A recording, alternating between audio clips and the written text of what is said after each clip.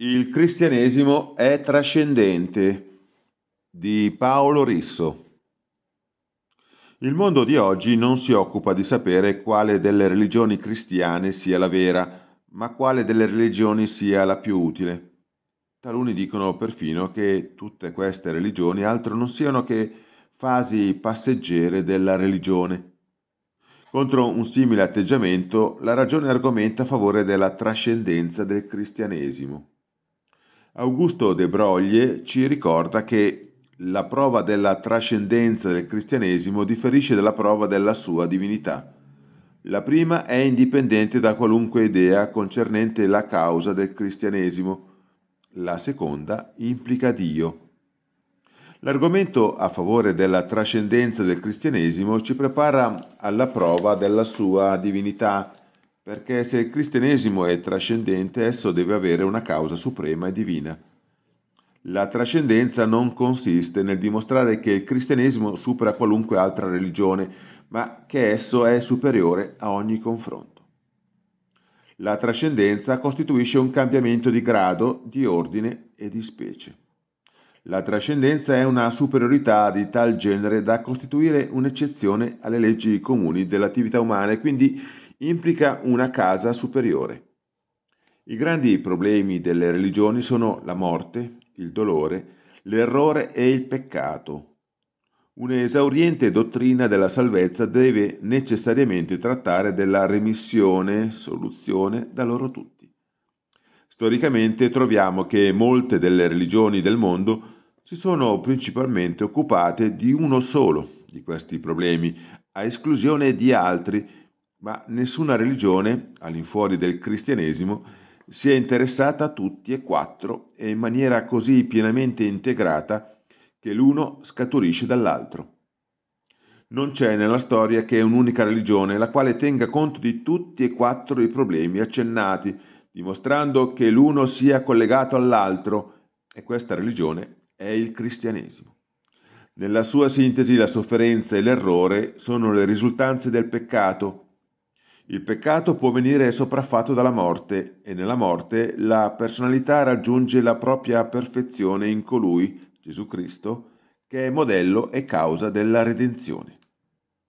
Il cristianesimo prende le mosse dal principio che l'uomo è fatto a immagine e somiglianza di Dio, il che implica un'intelligenza e una volontà o semplicemente un essere libero, quali non sono gli elementi chimici e i fiori. Come creatura l'uomo dipende dal suo creatore. Il paradosso del cristianesimo è che l'uomo è indipendente perché è dipendente, così come il pendolo dell'orologio è libero di oscillare perché è sospeso. La sua vera libertà è nell'arrendersi a Dio, la sua falsa libertà sta nello sconfessare tale dipendenza in una falsa dichiarazione di indipendenza con cui egli fa di se stesso un Dio limitato in opposizione a Dio, ribellione che non potrebbe compiere se non fosse libero o se Dio non esistesse.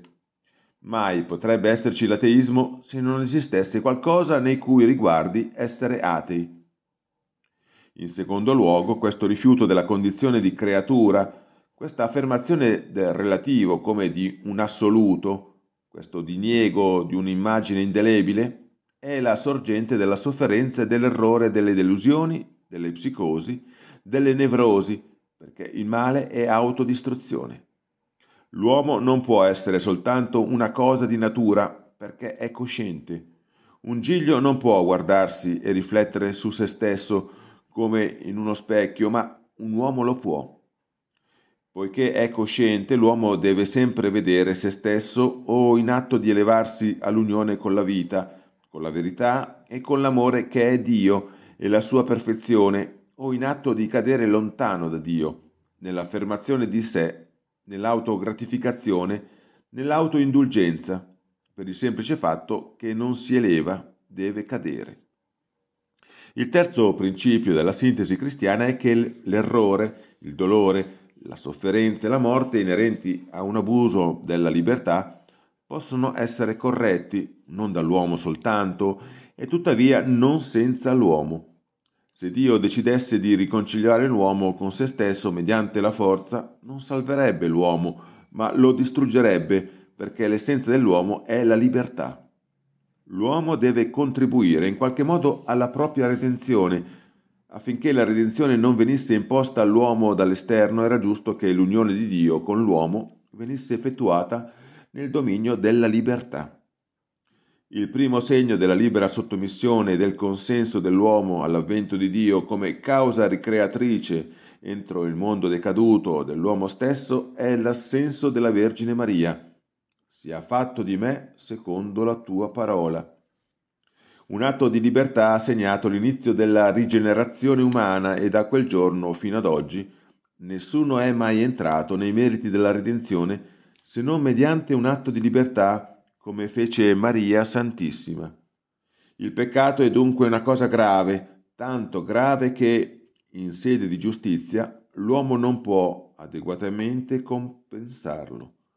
Il male del peccato ci viene rivelato nella sua essenza da ciò che esso ha fatto all'uomo Dio crocifiggendolo.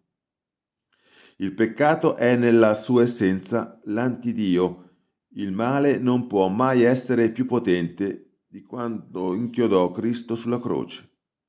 Ma essendo stato sconfitto dalla risurrezione, non può mai essere di nuovo vittorioso. Il male possiamo vederlo sul Calvario come ripulsa dell'amore, ma allo stesso tempo pena, sofferenza, errore, menzogne, false accuse, tutto si inserisce nel piano della redenzione, perché la vittoria di Cristo non è soltanto sulla morte, ma mediante la morte, essendo la vittoria del sacrificio di sé e il sacrificio di sé non è mai completo se non dà la vita. Non c'è amore più grande di chi dà la vita per i suoi amici. Giovanni 15:14. La sofferenza, il male, l'errore sono superati dalla sua morte in linea di principio, ma non ancora di fatto. Essi continueranno ad esistere fino al giudizio finale come punizione del peccato sebbene l'uomo rigenerato possa, tra queste tribolazioni, utilizzarli come fece Cristo per la propria salvezza. Anziché ostacoli, essi diventano la materia prima della spiritualizzazione. Nessun'altra religione al mondo dà alla morte il valore del cristianesimo, perché le altre religioni la isolano dal peccato. Per tutte le altre religioni la morte è o irreale o una liberazione dello spirito o un distaccarsi dal corpo considerato come ostacolo all'unione con Dio. Ma per il cristianesimo la morte è al medesimo tempo penalità per il peccato e condizione di eterna felicità, perché attraverso la morte l'amore compie quel sacrificio di sé che conduce alla perfezione nella vita eterna. Poiché è l'amore che salva, occorre perdere la vita per poterlo conquistare.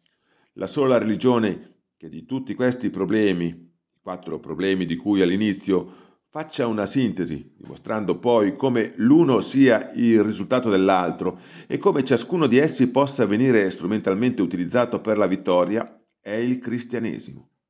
Esso non ci dà un quadro della disfatta seguita dalla vittoria, dalla sofferenza seguita dalla gioia o della morte seguita dalla vita, ma della conversione dell'una cosa nell'altra. Il vostro dolore si muterà in gioia. Giovanni 16:20 la disfatta diventa vittoria, il peccato diventa felix culpa, la morte diventa vita eterna.